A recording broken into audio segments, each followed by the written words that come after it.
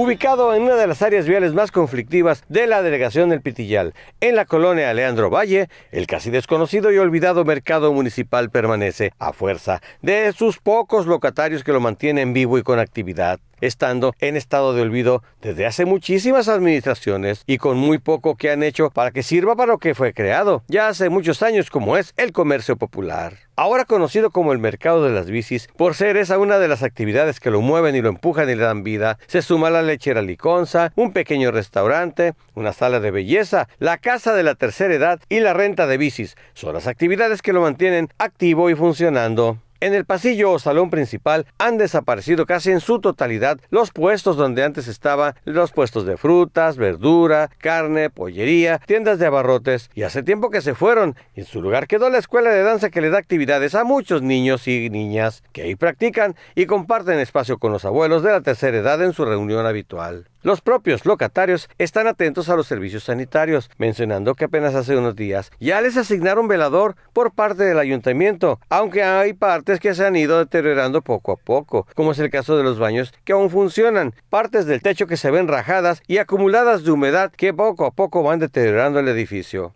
Así, en estas condiciones, esperan los locatarios que un día las autoridades volteen a renovarlo y a mejorarlo, porque sin duda será una de las actividades más importantes que se tengan en esta parte de la olvidada colonia Leandro Valle. Con imágenes de Ángel Martínez para CPS Noticias, Alberto García.